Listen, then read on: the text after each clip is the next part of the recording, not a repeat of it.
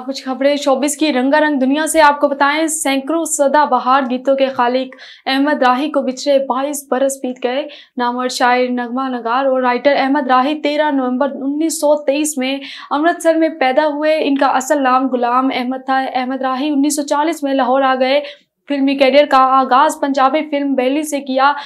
Film छुमंतर के गीत बहुत मकबूल हुए। अहमद राही ने मशहूर पंजाबी फ़िल्म ही रांझा के लिए लाजवाल गीत लिखे। इनके लिखे नगमे आज भी ज़ुबान जदे आम हैं। बिलाल कुरैशी ने अपनी कामयाब अजवाजी ज़िंदगी का राज बता दिया।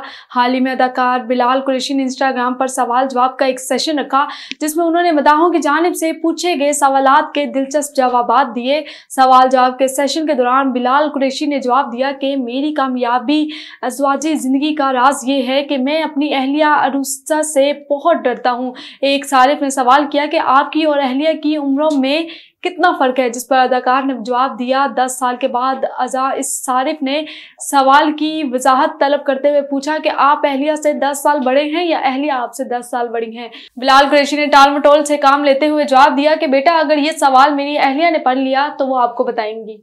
और शाहरुख खान पहली बार भारत के अमीर तरीन अफराद की लिस्ट में शामिल। भारतीय मीडिया के मुताबिक अठावन साल की उम्र में अदाकार की मजमू दौलत का तहमीना तकरीबन तिहत्तर करोड़ पे लगाया गया है। शाहरुख खान की इस फहरिस्त में शमूलियत का सबब इनकी मुख्तलिफ़ शोबों में कामयाब सरमायाकारी है, जिनमें Calcutta Knight Riders cricket team और production company Red Chillies Entertainment शामिल हैं। माली कामयाबी के अलावा शाहरुख खान को सोशल मीडिया पर भी सबसे ज़्यादा फॉलो किया जाने वाला शख्स होने का एजाज़ हासिल है।